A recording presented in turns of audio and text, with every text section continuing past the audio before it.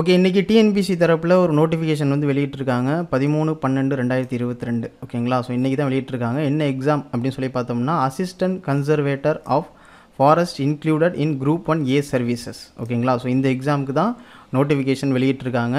So இந்த எக்ஸாமை பொறுத்தவரையும் எத்தனை வேக்கன்சி இருக்குது ஸோ எவ்வளோ சேலரி அதே மாதிரி நம்ம எப்படி அப்ளை பண்ணுறது நமக்கு உண்டான ஏஜ் லிமிட் வந்து என்ன?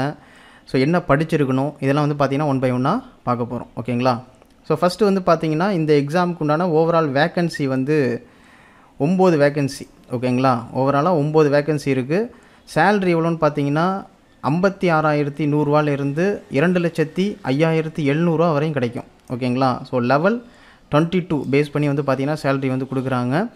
அதுக்கப்புறம் இந்த எக்ஸாமுக்கு உண்டான நோட்டிஃபிகேஷன் வந்து இன்றைக்கி தான் வெளியிட்டிருக்காங்க. நீங்கள் அப்ளை பண்ணுறதுக்கு உண்டான லாஸ்ட் டேட் வந்து பார்த்தீங்கன்னா பன்னெண்டு ஒன்று ரெண்டாயிரத்தி இருபத்தி மூணு. ஓகேங்களா? சப்போஸ் நீங்கள் அப்ளை பண்ணும்போது எதுவும் கரெக்ஷன் இருந்ததுன்னா அந்த கரெக்ஷனை சரி செய்கிறதுக்கு வந்து பார்த்தீங்கன்னா டேட் வந்து கொடுத்துருக்காங்க. பதினேழு ஒன்று ரெண்டாயிரத்தி இருபத்தி மூணு. அன்னையிலிருந்து பத்தொம்போது ஒன்று ரெண்டாயிரத்தி இருபத்தி மூணு.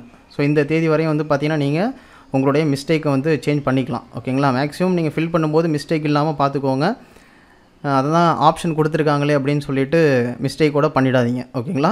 மேக்ஸிமம் ஃபஸ்ட் டைம் ஃபில் பண்ணும்போதே கரெக்டாக ஃபில் பண்ணிவிடுங்க ஓகேங்களா? ஸோ அதுக்கப்புறம் எக்ஸாம் டேட் ஸோ இதுக்கு வந்து பார்த்திங்கன்னா ரெண்டு எக்ஸாம் இருக்குது ப்ரிலிமினரி எக்ஸாம் மெயின் எக்ஸாம் இருக்குது ப்ரிலிமினரி எக்ஸாம் வந்து பார்த்திங்கன்னா முப்பது நாலு ரெண்டாயிரத்தி இருபத்தி மூணு. அன்றைக்கி வந்து பார்த்திங்கன்னா எக்ஸாம் வந்து கொடுத்துருக்காங்க. ப்ரிலிமினரி எக்ஸாம் வந்து கொடுத்துருக்காங்க. ஸோ மெயின் எக்ஸாம் வந்து டேட் வந்து அனௌன்ஸ்மெண்ட் வந்து பண்ணுறோம் அப்படின்ற மாதிரி கொடுத்துருக்காங்க. ஓகேங்களா அதுக்கப்புறம் வந்து பார்த்திங்கன்னா ஏஜ் லிமிட் மினிமம் ஏஜ் வந்து கொடுத்துருக்காங்க. ஒன்று ஏழு ரெண்டாயிரத்தி இருபத்தி ரெண்டு ஸோ இந்த டேட் அப்போ வந்து பார்த்திங்கன்னா அவங்க இருபத்தோரு வயசு நிரம்பியவராக இருக்கணும். ஓகேங்களா ஸோ இந்த டேட் அப்போ. இந்த டேட் அப்போ வந்து பார்த்தீங்கன்னா கண்டிப்பாக இருபத்தோரு வயசு நிரம்பியவராக இருக்கணும். ஸோ அவங்க மட்டும் தான் அப்ளை பண்ண முடியும். அதே மாதிரி SC SCA ST MBC BC BC முஸ்லீம் விடோ இவங்களாம் வந்து பார்த்திங்கன்னா முப்பத்தொம்போது வயசு வரையும் எழுதலாம். ஓகேங்களா ஆனால் டேட் வந்து மென்ஷன் பண்ணியிருக்காங்க இந்த டேட்டுக்குள்ளே இருக்கணும். ஓகேங்களா அதே மாதிரி அதர்ஸ்க்கு வந்து பார்த்திங்கன்னா முப்பத்தி நாலு வயசு வரையும் எழுதலாம். ஆனால் இந்த டேட்டுக்குள்ளே இருக்கணும். ஓகேங்களா ஸோ ஏஜ் லிமிட்டை பொறுத்தவரை இதுதான். முக்கியமாக எக்ஸ் சர்வீஸ்மேன் இருக்காங்கள அவங்க வந்து பார்த்திங்கன்னா ஐம்பத்தஞ்சு வயசு வரையும் எழுதலாம். ஸோ யாரெல்லாம் வந்து பார்த்திங்கன்னா SC SCA MBC BC BC முஸ்லீம் ஸோ இவங்களாம் இந்த கேட்டகரியில் வருவாங்க. அதே மாதிரி அதர்ஸ் அதர்ஸ் வந்து பார்த்திங்கன்னா ஐம்பது வயசு வரையும் எழுதலாம். ஸோ ஓகேங்களா இது வந்து பார்த்திங்கன்னா எக்ஸ் சர்வீஸ்மேனுக்கு அதே மாதிரி எஜுகேஷன் குவாலிஃபிகேஷன் வந்து கொடுத்துருக்காங்க. பதிமூணு பன்னெண்டு ரெண்டாயிரத்தி இருபத்தி ரெண்டு. ஸோ இந்த தேதியில் வந்து பார்த்திங்கன்னா நீங்கள் டிகிரி வந்து கம்ப்ளீட் பண்ணியிருக்கணும். ஸோ டிகிரி முடித்தவங்க எல்லாருமே எழுதலாமா அப்படின்னு சொல்லி பார்த்தீங்கன்னா அதுக்கும் ஒரு சில குவாலிஃபிகேஷன் வந்து கொடுத்துருக்காங்க. ஓகேங்களா நீங்கள் வந்து பேச்சுலர் டிகிரி இன் சயின்ஸ் வந்து முடிச்சிருக்கணும். அப்படி இல்லையா? இன்ஜினியரிங் வந்து முடிச்சிருக்கணும். ஸோ அப்படியும் இல்லைன்னா அதற்கு ஈக்குவலண்ட்டான எதுவும் குவாலிஃபிகேஷன் வந்து நீங்கள் முடிச்சிருக்கணும். ஓகேங்களா அது என்ன ஈக்குவலண்ட்டான குவாலிஃபிகேஷன் அப்படின்னு சொல்லி பார்த்தீங்கன்னா ஸோ அனெக்சரி ஒனில் வந்து இது கொடுத்துருக்காங்க. அட்வர்டைஸ்மெண்ட்டில் கொடுத்துருக்காங்க. அதில் வந்து உங்கள் குவாலிஃபிகேஷன் வருதா அப்படிங்கிறத செக் பண்ணிக்கோங்க. ஸோ அதே மாதிரி நீங்கள் படித்ததில் இந்த குவாலிஃபிகேஷன் இருந்ததுன்னா கூட நீங்கள் அப்ளை பண்ணலாம். ஓகேங்களா? நீங்கள் படித்ததில் இந்த குவாலிஃபிகேஷன் இருந்ததுன்னா கூட நீங்கள் அப்ளை பண்ணலாம். ஸோ அப்படி இல்லை இதுலையும் இல்லை அப்படின்னா அந்த அனெக்சரி ஒன் அந்த அட்வர்டைஸ்மெண்ட்டில் வந்து கொடுத்துருப்பாங்க. ஸோ அதில் போயிட்டு உங்களுடைய குவாலிஃபிகேஷன் வந்து இதுக்கு ஈக்குவலாக இருக்கா அப்படிங்கிறத செக் பண்ணிங்க. ஓகேங்களா? அதுக்கப்புறம் பிசிக்கல் வந்து கொடுத்துருக்காங்க. ஸோ மேல் வந்து பார்த்திங்கன்னா ஹைட் வந்து நூற்றி அறுபத்தி மூணு இருக்கணும். ஃபீமேல் வந்து நூற்றி ஐம்பது இருக்கணும்.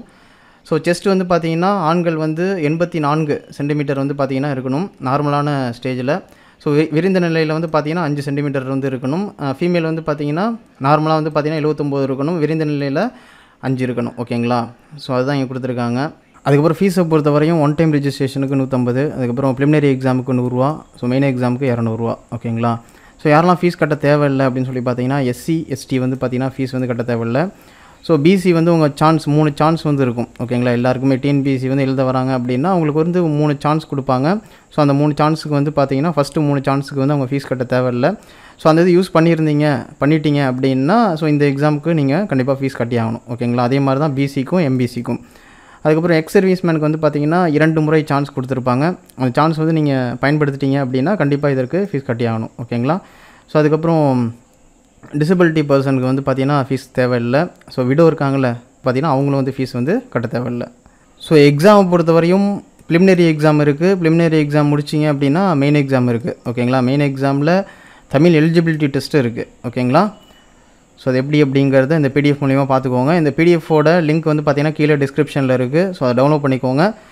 ஸோ ஒன்ஸ் வந்து நீங்கள் வந்து அப்ளை பண்ணுற மாதிரி இருந்தது அப்படின்னா நீங்கள் எலிஜிபிளாக இருக்கீங்க அப்படின்னா அந்த டேட் வந்து மென்ஷன் பண்ணியிருக்காங்க அந்த டேட்டுக்குள்ளே அப்ளை பண்ணிவிடுங்க ஓகேங்களா ஸோ இன்னையிலேருந்து நம்ம அப்ளை பண்ணலாம்.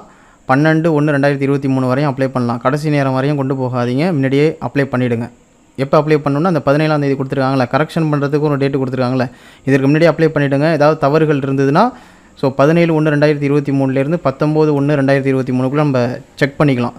ஏதாவது எரர் இருந்ததுன்னா நம்ம திரும்ப சேஞ்ச் பண்ணிக்கலாம். ஸோ அதனால் இந்த டேட்டுக்குள்ளே பதினேழு ஒன்று ரெண்டாயிரத்தி இருபத்தி மூணுக்குள்ளே அப்ளை பண்ணிவிடுங்க ஓகேங்களா? ஓகே ஃப்ரெண்ட்ஸ் ஸோ இந்த வீடியோ பதிவு வந்து பார்த்தீங்கன்னா இன்றைக்கி உண்டான நோட்டிஃபிகேஷனுக்காக உண்டான வீடியோ பதிவு தான். வேறு எதுவும் இன்ஃபர்மேஷன் இருந்ததுன்னா நம்ம அடுத்த வீடியோ பதிவில் ஷேர் பண்ணுறோம் ஓகேங்களா ஓகே தேங்க்யூ துருவம் அகாடமிலேருந்து கார்த்திக்.